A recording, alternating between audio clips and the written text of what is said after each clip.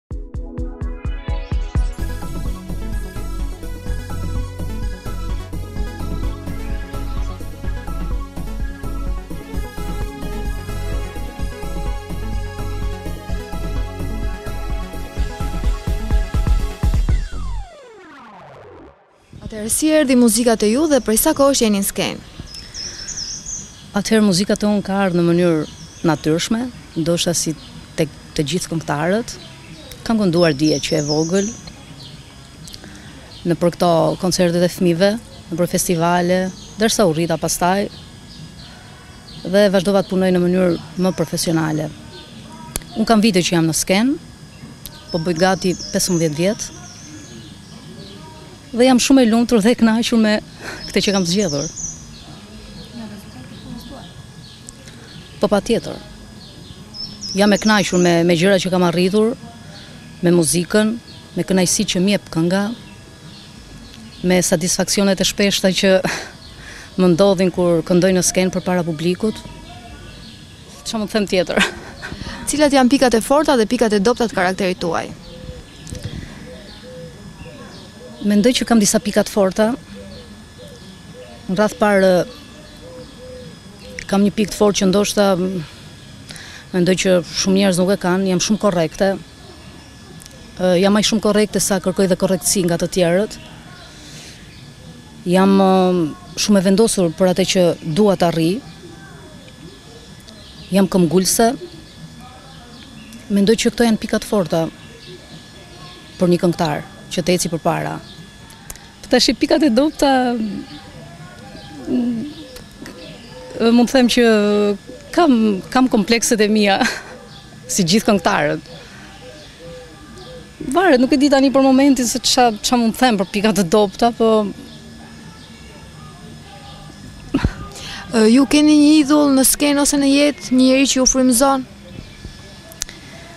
Të them të drejtën, idhuj kam pasur kur isha adoleshente, idhuj këngëtarë flas, po që tani janë venitur, vetvetiu ndoshta ngaqë unë vetë u bëra këngëtare dhe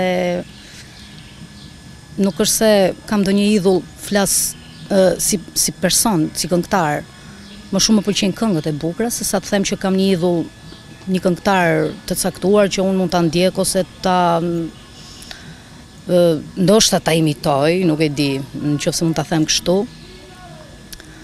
Por mendoj që frymëzimi im kryesor ose në qoftë se mund ta quaj idhulli im kryesor janë familja ime, fëmijët e mi, bashkëshorti im, për të cilët punoj, Mendoj që ai është mbështetësi kryesor. Edhe njerëzit e familjes, të afërmit e mi. Kohët e fundit janë hap shumë rrjetet sociale, Facebooku, e-maili. Ju a i përdorni këto dhe ça mendoni për to? Në fakt i përdor, edhe unë si gjithë njerëzit e tjerë, kam dhe unë account në Facebook, thjesht nuk është se i përdor në mënyrë intensive, thjesht hy dhe shikoj Njerëzit, adhuruesit e mi që më shkruajnë, ju kthej përgjigje. Jam njeri korrekt, siç thashë, nuk është se i le njerëzit pa përgjigje, nuk më pëlqen kjo. Megjithëse ndodh shpesh nga këngëtarë të tjerë, po mua nuk më pëlqen kur njerëzit më më komplimentojnë ose duan të dinë diçka për për mua, unë ja u kthej Me mirësjellje përgjigjen. Tashi mendimi nuk e di, në fakt nga një herë bëhen shumë gjëra në rrjetet sociale, për shembull edhe në emrin tim hapin shumë akaunte që s'janë të mitë, edhe ka dhe abuzime, ke parasysh, po nuk më shqetëson kjo. Gjithsesi jemi njerëz që njifemi dhe gjëra që ndodhin. Cilat janë planet e juaja për të ardhmen? Keni noj projekt të afërt për noj album muzikor, apo të largët? Po kjo dihet, kam plane, dihet në drejtim të muzikës. Tani për momentin po pregatitem për një këngë të re, që do ta shoqëroj dhe me një videoklip. Po po punojmë së bashku me Ilirin, që kënga të dali sa më e bukur. Po mendoj për detajet, për gjërat që do bëhen në videoklip. Këto janë planet për të ardhmen.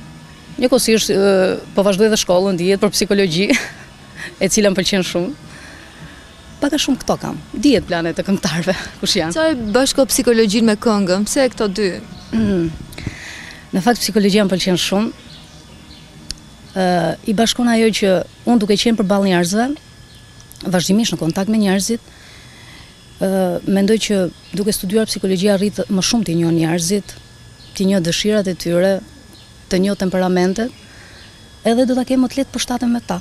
T'ju bëj ato këngë që ato dëshirojnë e mendoj që më ndihmon shumë. Kohët e fundit është përhap shumë dhuna në familje dhe dhuna në rrugë. Çfarë mhm. mendoni në lidhje me këto të dyja? Duhet të bëjë më shumë shteti për parandalimin e dhunës, sidomos asaj në familje që është bërë shumë problem shqetësues? Po normal që shteti duhet të bëjë shumë gjëra në këtë lloj drejtimi, megjithëse unë jam ë personi i duhur ndoshta që të flas për për këtë gjë, mendoj që shteti duhet të bëjë shumë gjëra për ndalimin e dhunës, por prap mendoj që është në dorë të individit që njerëzit të, të formohen, të të jenë sa më të civilizuar që ta anashkalojnë dhunën në familje. Nuk e di, ndoshta do vi me kalimin e kohës këtu te ne. Faleminderit. Asgjë. Faleminderit.